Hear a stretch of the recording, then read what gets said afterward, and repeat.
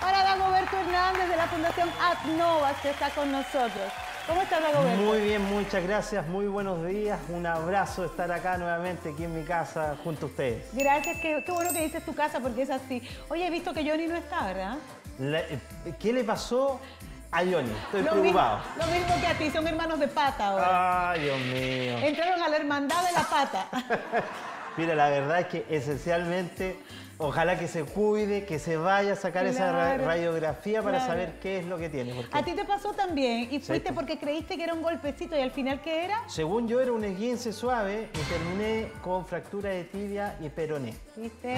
Así ¿Viste? que- ¿Cuántos días después del golpe fuiste al médico? No, yo vine al, a- al día siguiente. Ah, al día siguiente, por eso te estás De hecho, vine recuperando. acá y Claro. después de aquí me fui a... ¿Viste? ¿Viste? El Johnny tiene tres días ya, estamos echando al agua. No, no, no. Por favor, Johnny, directo a la radiografía. Oye, hay gente que, que no te vio ese día cuando viniste. Tenemos el video por ahí. ¿Te quieres recordar un poquito antes de entrar al tema? Bueno, si lo tienen, lo vemos, no hay ningún problema. un poco recordando. Pero te veo mejor, ya, ya no estás con... Todavía me queda kinesioterapia. Recap- recapitulemos, ¿te parece? Porque ya igual pusieron la música triste. Entonces hay que contar la historia. Así es. Que Queríamos mostrar algunas imágenes, Ya. pero no lo vamos a hacer en realidad. para no- Señores, hace Gracias, gracias. tres meses y, y días llegó nuestro abogado respondiendo a la invitación que gentilmente le hizo nuestro productor Vladimir. En el ejercicio de sus funciones sufrió una especie de caído golpe. Me caí en la calle y me quebré la tibia del peroné esa, esa mañana. Se rompió dos huesos, señores, en una misma pierna. Y vino, y vino igual. Llegó cojeando. Se había roto dos huesos de su pierna derecha. Así es. de su pierna derecha, dos huesos, la tibia y el peroné es un finito que está detrás. Los dos se los rompió y por eso lo tuvimos tres meses ausente. Momento cultural. Pero te veo mejor, ya, ya no estás con... Ah, pero mire, ya, Ya, perfecto. ya, anda- perfecto. anda perfecto. No hay ningún problema. Fue al médico, se cuidó, le pusieron su bota, después viniste con la bota. Así es, así es. Fueron largos meses, pero acá estoy con ustedes, bueno. con cariño y con alegría. Bueno, sobre y, todo. y muy importante, Dagoberto, te agradecemos muchísimo que estés con nosotros porque estamos viendo que los niveles de cesantía en nuestro país están aumentando. Se supone que íbamos a tener unos 3.000 despidos y lamentablemente esa, esa suma se ha multiplicado por dos y un poquito más. Así es, así es. Y mucha gente no sabe cuáles son sus derechos o qué hacer en el caso de ser despedido. Efectivamente, como tú dices, las movilizaciones sociales produjeron un aumento de un 85% del despido por parte del empleador a los trabajadores, lo que significó que al final del término del mes de noviembre, eh, este lunes, las filas, y hasta el día de hoy, las filas en la AFC han sido pero larguísimas. Están por lo menos tres cuadras, cuando yo venía camino para Sí. acá, yo- mi oficina está cerca de la AFC, eran tres cuadras de personas que estaban esperando tratar de cobrar Sabes que yo pasé, el-. Dagoberto, y yo pensé, ¿es extranjería? Porque las filas que vemos en extranjería Sí, pues, son largas, son Sí. de cuadras Así también. es. Yo dije, pero qué raro, extranjería aquí. Después porque me di cuenta, la persona con la que iba al lado de mi esposito me dijo, no, es- esta es la donde la gente viene a cobrar el seguro El de seguro. cesantía. Pero yo te voy a decir una cosa, y te los voy a contar a todos. No todo el mundo tiene seguro de cesantía. No, Quiero ¿en dejarlo muy en claro. Porque tú para poder tener derecho a cobrar tu seguro de cesantía tienes que tener a lo menos un año de, de cotizaciones anteriores. ¿Ya? Esto es lo mismo, por ejemplo, valga la redundancia, Sí. que si yo quiero, eh, si, yo me- si yo fuera mujer y yo me embarazara y tengo tres meses de contrato, si bien voy a tener el fuero, pero la, la FP no me va a pagar el sueldo porque yo necesito seis meses antes para poder cobrar eh, el sueldo. En este caso la FC, si usted, señor, señorita, caballero, tienen a lo menos 12 cotizaciones continuas, Sí. van a tener derecho a cobrar el seguro de cesantía. Primero porque, porque todos cuando nos, todos alguna vez nos hemos quedado sin trabajo Sí. y uno tiene, eh, piensa al tiro dónde puedo echar mano para poder aguantar el, el chaparrón que se viene, ¿no? Claro. Pero eh, tienen que tener claro que si no tienen 12 meses no van a tener seguro de cesantía. Da- Dagoberto, eh, el seguro de cesantía, bueno, es un derecho, pero solo para las personas que tienen un año de cotizaciones. ¿Qué le pasa a las personas que, que tenían seis meses, siete, ocho, dos meses, tres El, meses el seguro de trabajando? cesantía siempre se pensó en hacer una- un, un pequeño fondo paralelo a tu cotización provisional obligatoria cosa que el día de mañana cuando tú ya te jubilaras, ese fondo hubiese crecido e incrementara tu jubilación, tu, tu jubilación, Claro. ¿ya? Aquellas personas que no han cumplido la totalidad de los 12 meses o dentro del año han trabajado para tres empleadores, es decir, lo que lo único les pide que sean continuos, 12 meses continuos de cotización. eh, En tres trabajos distintos, pero, pero cotizando y trabajando siempre. Exacto, pero lo, lo- lo que te pide es que eh, si tú tienes menos de eso, no lo vas a poder cobrar.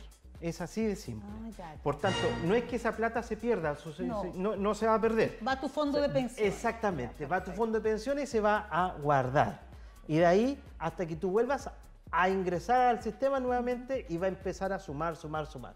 Una vez que tenga, por ejemplo, usted guardó un millón de pesos, no alcanzó a cobrarlo, usted a la próxima vez que tenga ya 12 cotizaciones va a tener ese millón de pesos más lo que usted entró. No es que se lo lleve para la casa no. ni nada Se reactiva se reactiva. Entonces, al momento de que usted, pucha, no quiere, quiera Dios que nunca le pase, pero, pero si le pasara, eh, cuando usted vaya a cobrar ese seguro, esa cesantía, va a tener ese milloncito más lo que ahorró estos 12 meses. Entonces, su seguro de cesantía también va a ser más alto.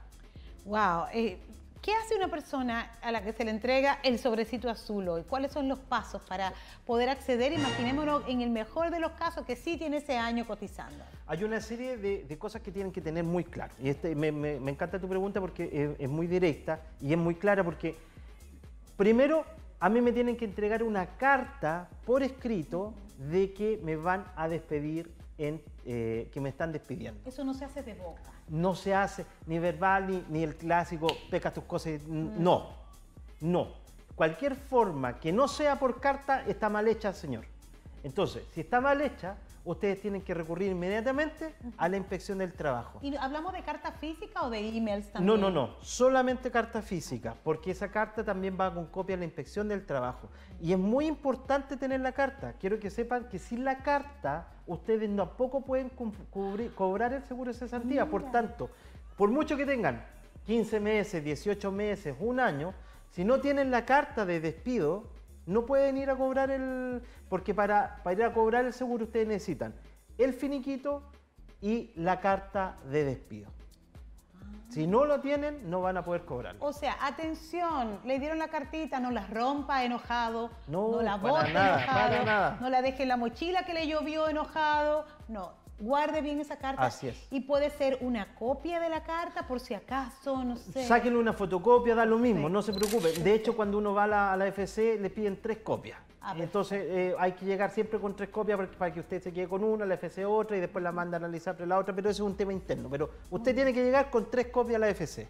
Dependiendo del sueldo que teníamos, ¿cuánto es y por cuánto tiempo es que nos van a estar dando ese cheque, eh, eh, el, este va, seguro va a depender, tú tienes que entender que es el 1,25% de tu sueldo el que se va a tu fondo y, uno, y es otro 1,25% que aporta el empleador. Entonces, eso se va juntando, juntando, juntando, dependiendo del sueldo. Si el sueldo fuera, por ejemplo, establecemos un Sí, millón de pesos. Un ejemplo. Para poder dar Ah, números no, cerrados. pero haga algo más real. Un millón de pesos, y no el sueldo de 500 Johnny, mil pesos. ¿Qué, qué están claro, hablando? hagamos de 300 lucas. Ya, vamos con 300 lucas. A ver, ¿para qué, eh, qué, líquido o, o bruto? Eh, líquido, sí, al bolsillo. Ya. Por tanto, si es al bolsillo son como 475 mil pesos brutos. Bruto. Entonces, sobre eso se saca el 1,25 más el 1,25 del empleador, se va juntando y saque más o menos un 5%. Cin- Son como Ay. 20 mil pesos mensuales que se vayan juntando, juntando, juntando, juntando. Perfecto. Pero eh, el sueldo, entre comillas, eh, le dan dos opciones. O lo cobra al tiro o lo cobra parcializado. Si lo cobra al tiro, eh, es la parte que usted va a tener liquidez, pero lo importante es cobrarlo parcializado, porque además de cobrarlo parcializado, la FC le paga la cotización a usted. Te impone. Ah, te sigue imponiendo para que no Exacto. tengas lagunas. Y te impone por el mínimo, sí, pero te impone. Pero te impone, claro, sin lagunas. es Entonces, no, efectivamente no quedas con laguna. Entonces, por eso siempre es mejor pedir que sea parcializado. Y puede ser en cuatro o en seis meses. Y además la FC tiene cursos online y presencial de capacitación para buscar trabajo. Entonces, es esencial, primero, carta de despido. Tiene que ser carta, no puede ser verbal. Si es verbal, váyase a la inspección del trabajo, llame a la sociedad jurídica Novas, como usted quiera, Exacto. pero asesórese. Eh, segundo, eh, con el finiquito firmado, ah, eh, otra cosa, el plazo legal para pagar el finiquito de cualquier trabajador son 10 días corridos, desde la fecha de notificación del despido. Incluyendo fines de semana. Incluyendo fines de semana. Perfecto. Por tanto, si me despiden hoy día, que es miércoles, jueves, viernes, sábado, domingo, lunes, martes, miércoles, jueves, viernes, al sábado, a- pasaría el lunes. A dos lunes más eh, sería el mon- monto máximo de pagar. Lo que es importante porque antes a ustedes les demoraban 30 días, no, 60 días, entonces hoy día tiene el finiquito con A los 10 días. a los 10 días. Y eso significa siempre vacaciones proporcionales, días trabajados, indemnización para año de servicio y el mes de aviso. Perfecto. Eh, eso eso era, era mi próxima pregunta. ¿Cómo uno calcula cuánto debería ser su finiquito? Tú tienes que sacar la cuenta que cualquier persona que ha trabajado a lo menos un año en adelante tiene un año, eh, tiene como, como que ganó un sueldo, por así decirlo, si, es que, si es que lo despiden por necesidad de la empresa. Porque Claro. si usted renuncia, renuncia a todo. Pierde Ahí. indemnización por año de servicio, Claro. mes de aviso, todo. Claro. Entonces, eh, particularmente usted va juntando por cada año, por- al primer año son 12 meses, pero al mes 16 ya tienes un año, un año más, porque la ley te dice por cada año 6 meses y fracción superior a 6 meses.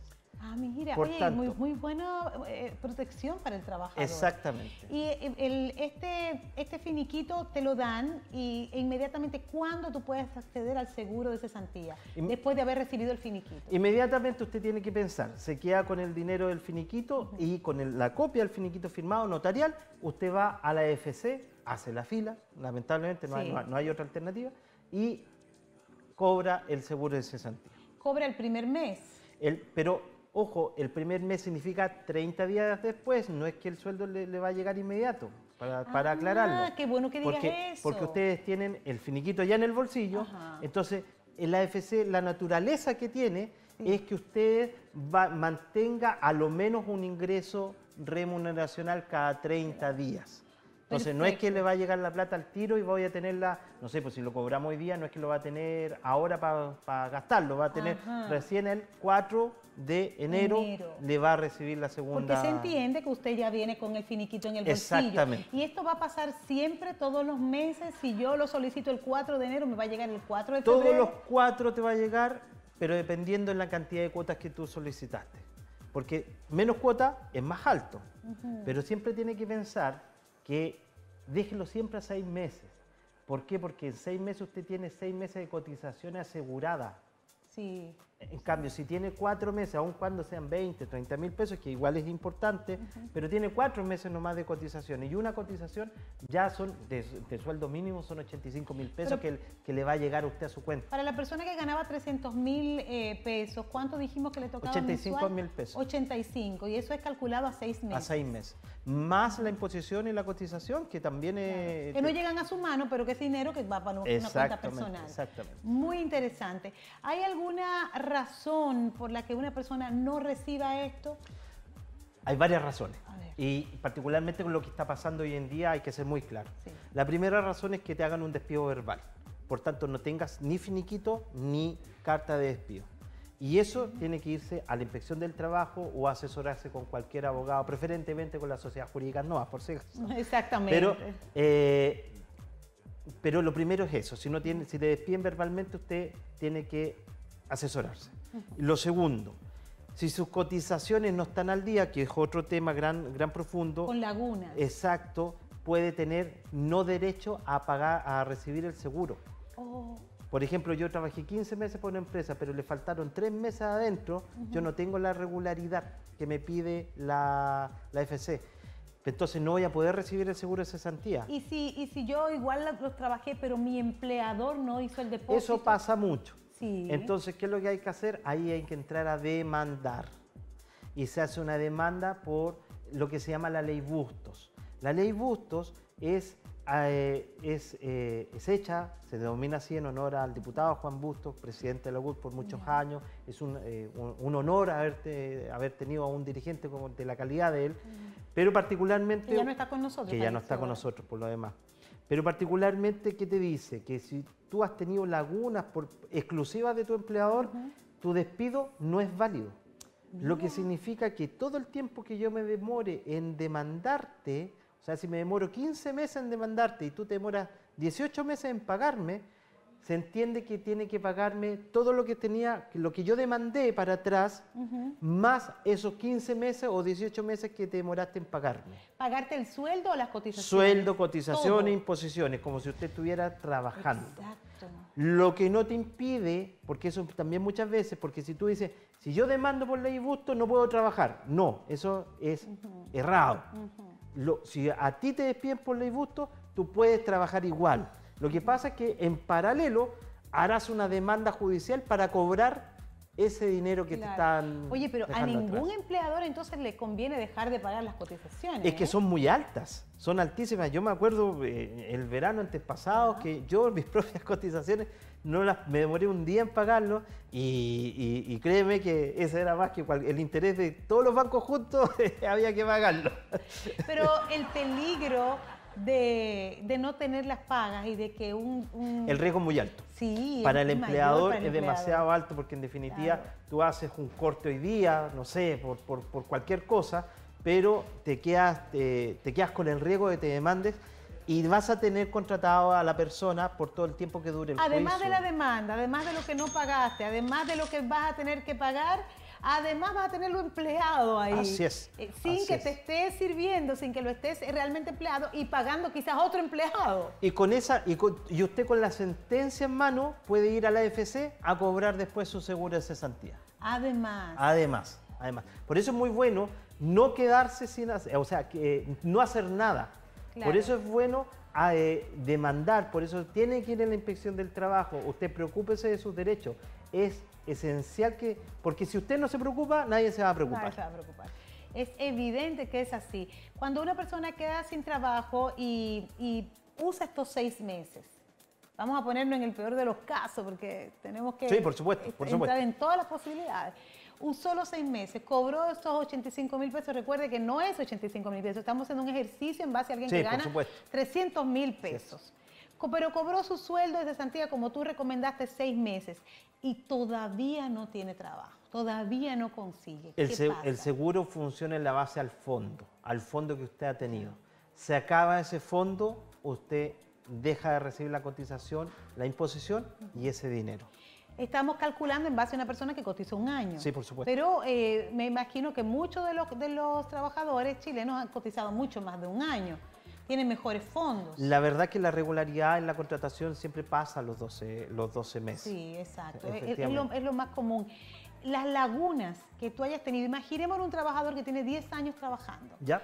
Pero que ha tenido quizás lagunas dos o tres meses. ¿Esto impide que sea un buen cálculo? No, no, no le impide. Pero sí eh, va a tener un buen eh, seguro de cesantía, pero también va a tener una buena demanda que va a hacer contra su empleador si es que le, no le cotizó algunos de esos. Oye, yo no, sé si mucha gente sabía que por eh, cotizaciones impagas podía demandar por, la, ley Busto. De hecho, las cotizaciones impagas, por ejemplo, sí, porque la ley te dice que tiene 60 días para demandar desde que termina la relación laboral, pero en materia de cotizaciones dura dos años dos años. Y yo lo que único necesito es que me den un contrato de que hayan tenido una copia de un contrato de trabajo, una liquidación de sueldo o una carta de despido. Si usted nunca demandó y pasaron esos dos, está dentro de ese plazo de dos años, aún así se puede demandar y yo puedo recuperar, ya no a través de la ley Busto, de que mantenga, pero sí le puedo recuperar las lagunas que usted le descontaron y que no se las cotizaron. Pero a partir de cuánto tiempo dices tú que eso pasó, eh, dos años. máximo dos años. desde que terminó, desde que me despidieron, son dos años. O sea que la ley Bustos te cuida al trabajador solo hasta los dos años. Si hay personas que se dan cuenta hoy que el, empleador con el que estuvieron cinco años atrás no, le cotizó, ya ahí no le sirve. Lo que pasa es que en derecho eh, todas las cosas como en la vida también, prescriben, prescriben mm. en cierto tiempo. Entonces, eh, así la pena dura un tiempo, así la alegría dura un tiempo. Dicen que el amor también, ah, eso no es verdad. que, pero yo lo vivo en mi casa todos los días. Ah. Exacto, el amor nunca deja de ser. Entonces yo creo que la recomendación que más acertada que podríamos darle a nuestros televidentes es que estén atentos a que le estén pagando sus cotizaciones. ¿eh? El certificado de las cotizaciones es gratuito, presencial y vía online Sí. Y cada vez que, que la AFP recibe su cotización, le manda un correo si usted deje- deja Exactamente, te registrado. llega la cartola. Entonces, te llega la cartola cuatrimestral y te llega, te llega un aviso que hemos recibido la cotización de su empleador, que eso es mensual. Pero ¿sabes lo que hace mucha gente? No la ve, El, que le llega físico, lo botan. Lo y todos estos entonces, papeles que su- llegan del... De hecho, es tan importante porque tener eso, porque si usted ve que hay una variación, por ejemplo, tienen que pagarle 100 mil pesos de cotizaciones y le pagan 30, esos 70 podemos reclamarlo por ley busto. Ah, mira. Claro, porque, y eso pasa mucho. Mira, hay mucho tema de hablar. Yo te voy a decir una cosa. En- particularmente en la construcción, eh, la gente, porque te aprovechan, hay que decirlo.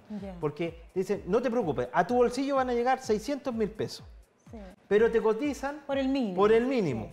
Cuando no te tienen que cotizar por el mínimo, te tienen que cotizar por el, el- por 600 mil pesos, no por los Claro, 301 mil Pero hay pesos. mucha gente que pide esto, hay mucha gente que no quiere que le, que, que le, Pero que le coticen por el sueldo real para tener más platita líquida en la mano. ahí también hay un error de concepción. Sí, totalmente porque de si, acuerdo. si yo te digo a ti, ¿sabes qué? Yo quiero 600 mil pesos a mi bolsillo, pero con cotizaciones, significa 600 mil a mi bolsillo, más la cotización. O sea, un sueldo de 800 o O 700. más o menos, más o menos. Pero ¿qué te hacen que al final, y después yo quiero ir a sacar un, por ejemplo, quiero sacar una, un- un- una tarjeta del retail. O un préstamo. O, te, un te o cualquier calcular cosa. por las y yo cotizaciones. digo, pero si yo gano 600 mil pesos, Claro. no señor. No, Aquí dice que usted gana 289, que es el mínimo. Era el mínimo. Entonces, por eso preocúpese siempre de ver cuánto le están cotizando y si están cotizando. Claro, claro. Son no, y además al final, cuando usted se vaya a pensionar, a jubilar, eh, eh, Ah. La caída es la caída gigante, es es estrepitosa. gigante, o sea, gigante. todo el tiempo se acostumbró a un sueldo, a tener 600 en el bolsillo, y cuando a usted le vayan a calcular sus pensiones, se la van a calcular como una persona que ganó 300 mil y va a ser pequeñísima. Exactamente. Además que la ley te permite hacer una demanda paralela mientras estás trabajando, no te- no, no, y si te despiden es una demanda más grande aún. Entonces, usted está protegido en su trabajo, no se preocupe, vaya a asesorarse, llámenos por teléfono o vaya a la inspección del trabajo. Si no le cotizan, si Mm. la despiden verbalmente, si le cotizan por menos de lo que le llega a su bolsillo, asesórese, porque de verdad tiene la ley, tiene, eh, tiene todos los sí, instrumentos a su sí, favor. sí. Ahora, es la carga del empleador quien tiene que ser, porque aquí en la vida hay de todo. Hay empleadores buenos, hay empleadores malos, Claro. hay trabajadores malos, hay trabajadores buenos. De todo. Pero sus cotizaciones son intocables. Eso hay que decirlo. Y si usted tiene que cotizarles por 600, no acepte que le coticen por 300. Eso es así. Y mucho menos lo pida usted porque está afilando cuchillo para su propia garganta. Ah, qué un, buen hay un punto, claro, es cierto, te está auto, es un su- autosuicidio. Así es, es Aunque el perfecto. suicidio siempre auto. Tal- Sí, pues, pero me me encantó, pero muy buen término. Pero a ver, Dagoberto, hay algo que me preocupa y tiene que ver con nosotros los migrantes. Los migrantes para, eh, vienen a trabajar por un tiempo a Chile o a cualquier país, pero siempre tienen la ilusión de regresarse a su casa. Así es. Cotizan los 10, 15, 20 años que trabajaron en Chile, pero luego no pueden devolverse, no pueden llevarse Mira. ese, ese- ese monto cotizado para llevarlo a, la, a las AFP de su país o quizás llevarse la plata. Es que sí se puede. Pero para la que ley se hoy día pueda... lo te lo permite. Pero Pe- ¿qué es lo que te permite? Que tiene que haber una cláusula especial en el Claro. contrato de trabajo que te diga que yo estoy cotizando en mi país de origen, Claro. por tanto el dinero que yo que me, que me van a, a descontar no se te descuente y se te pase en efectivo. Ya. Y tú te encargas de tu cotización afuera. enviarlo a mi país. Exacto. Claro. Pero ¿qué pasa? Si tú nunca trabajaste en tu país, sino que llegaste aquí con 17 años, Ah, 18 claro. años, Ah, claro. cotizaste aquí toda la vida y ya cumpliste eh, 50 años y dices, no, me regreso con mi, con mi familia a mi país. Nunca cotizaste en tu país. Ah, te queda- eh, te- es que en, en la cual en una nunca iniciaste el camino y en el Claro. segundo quedaste a media, entonces no alcanzaste a... a- Pero, a- pero a hay cobrarlo. plata Sí, tuya pues. ahí que es fruto de Bueno, tu trabajo. esa plata, cuando usted cumpla los 65 años, en el caso del hombre, los 60 años, en el caso de la mujer, si usted, eh, se confiere poder a un abogado Ya. y, ese, y él es el que retira, o usted mismo, si es que si- estamos hablando de que alguien volvió a su país, por eso hablo de que llame un abogado, pero Si usted vuelve a Chile, puede ir perfectamente la AFP y, y retirarlos. Sí, pero ¿y qué, ¿y qué pasa con la persona? Esto para poder hacerlo tienes que tener un título Sí, ah, eh, claro, por supuesto. técnico o universitario. Exactamente. Una nana no tiene un título No. técnico de nana, un jardinero tampoco. Eh, algunos peluqueros lo tienen, una manicurista no lo tiene. Si no tienes título tampoco puedes retirar la plata. Por ejemplo, me, me- me- me- me tomo un tema de la nana. La nana tiene una indemnización adicional que se cobra para, para que se cobre inmediatamente y un descuento adicional que se cobra inmediatamente, por si acaso, para que lo tengamos presente. Efectivamente, aquellos que están entre Tongoy y los Vilos, como llegamos Sí. nosotros, que no son ni chicha ni limonada, eh, efectivamente les pasa eso, en lo cual quedan con un monto importante, pero que no les permite jubilar en Chile y en su país de origen quedaron, No, hoy día se está viendo en la reforma de pensiones. sí. Deberían entrar a ese tema. Exactamente, Sí, esa solución ese me parece muy correcto. Mientras tanto, si usted quiere estar bien asesorado, no solo con relación a este tema de la cesantía, sino muchos otros temas legales, comuníquese con Novas y con nuestro abogado aquí, Dagoberto Hernández. Llámelo. Señores, por favor, no se quede sin asesoría. Por lo que acabo de ver, hay muchos derechos que tienen los Así es. trabajadores, pero si no lo conoces, no los vas a disfrutar. Gracias, Dagoberto. Gracias a ustedes nuevamente, gracias por el cariño a recibir y, siempre en mi casa me siento. Muchísimas gracias.